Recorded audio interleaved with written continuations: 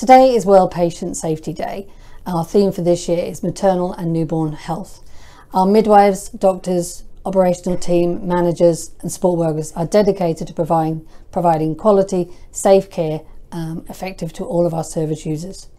Our team um, have been reviewing our service that we provide and we've been concentrating on some themes, safe staffing with a, an aggressive recruitment drive, the implementation of the Ockenden report,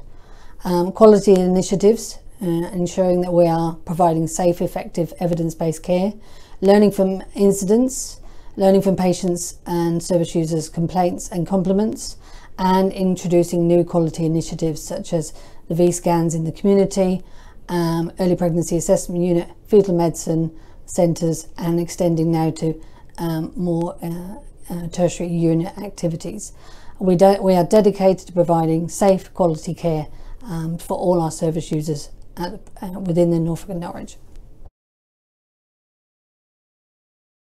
The senior leadership team and the midwives and doctors and support workers have been working tirelessly with the Maternity Voice Partnership uh, liaison team and the chair to ensure that our service users' voices are heard, we listen to, and we are working alongside with our new maternity strategy and our guidelines to ensure that we're pro providing safe, effective care that meets their needs.